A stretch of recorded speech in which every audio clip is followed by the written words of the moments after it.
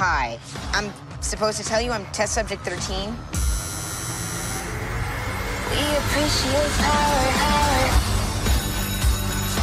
I just want to be taller. Go! Maybe you should try a sport you're more suited to. Like?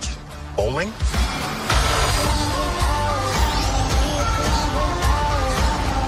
Dancing isn't your whole life. You have school too. But this is important.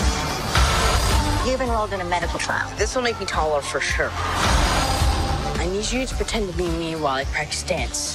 Hey, what's up, Jesse? Okay, let's try this again. So we get to run around in a memory like time travelers. Wow. We can turn off mom and dad's parental controls.